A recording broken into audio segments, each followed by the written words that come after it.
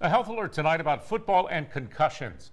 A new study tracked dozens of children playing football. Those who had more frequent impacts to the head showed signs of damage to brain development after just one season. What's not clear, the long-term effects, whether damage to brain development processes will impact those children later in life.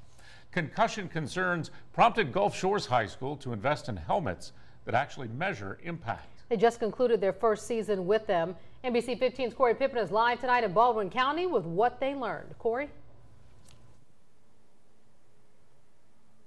Greg Kim, the Gulf Shores head football coach, says after just one season with these smart helmets, he can't imagine going back. No matter the level of the game, big hits are a part of football. And when it comes to players taking blows to the head, it's not a matter of if, but when. Knowing the severity is key. For Gulf Shores High School football coaches, these impact monitoring helmets have taken the guesswork off the field. Kids can be very tough and very resilient. And, and for some of them, they probably would have never told us that, that oh, coach, I have a headache, or, or oh, coach, I'm dizzy. Dolphins head football coach Matt Blake says microchips in the heat and motion activated Riddell helmets send this data in real time to coaches and trainers on the sideline showing the number and intensity of each hit to every side of a player's head and if it's time to take them off the field.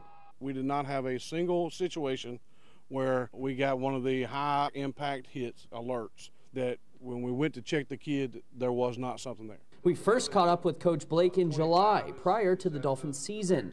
Now, with 10 games in the books, they're using what they've learned to improve player tackling and blocking. I can't imagine going out to practice a single day and not having these capabilities. Studies linking concussions and long-term brain injuries to football have made national headlines across the country.